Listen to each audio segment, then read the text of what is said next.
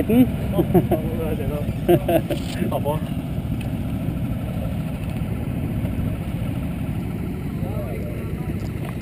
Det var ikke det. Er det vinneren her?